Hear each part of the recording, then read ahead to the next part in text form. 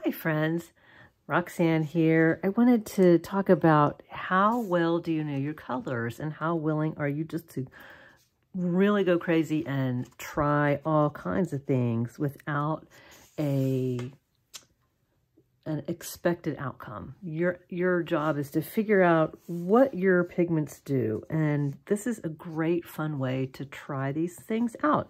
I've got all these, you know, a variety of um, deep dark pigments. A lot of them are Daniel Smith, and I wanted to see what they would do. So I just took a pretty inexpensive mixed media Strathmore journal. It is 100% cotton. It's just not really heavy paper. It's their 500 series, and it's a soft cover book. But this gives you a chance to see what it'll do. This is um, Sennelier Payne's Gray. It's a very blackish gray. This one is Daniel Smith's Moonglow with a little bit of Morton Kosher coarse salt. Comes in a big tube that looks like that. And maybe a little bit of water spritzing too. Um, you can see this kind of granulates out almost into a like a deep lavender pinkish hue. Um, this one is Daniel Smith's Serpentine Genuine. Um, it's got some wonderful little granulating qualities. There's this bronzy color in that kind of granulates out of the green. This one is a Sodalite Genuine, also by Daniel Smith, and it is a really fun one for landscapes. I like um, when you're playing around with this, take a little bit of your spritzer and just let it travel a little bit. Then let's see, there is Daniel Smith's Undersea Green. It has some beautiful um, blues when you um, when it granulates out.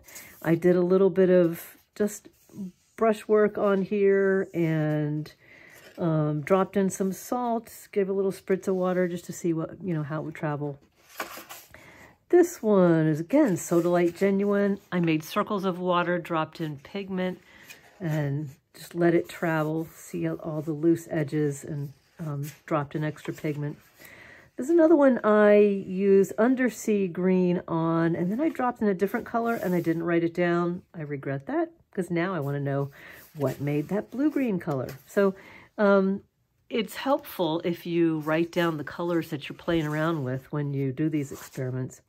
This is a lovely one. It's Daniel Smith's Perylene Green. I love that dark wintry feel of that. Oh, just came across a little salt crystal that kind of stuck its way in there and never got never got brushed off.